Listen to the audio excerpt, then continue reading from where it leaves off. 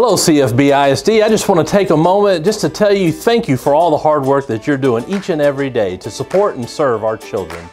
I hope that you take some time to relax and, and enjoy spring break and that you come back rejuvenated and excited to finish out the 2020 spring semester strong.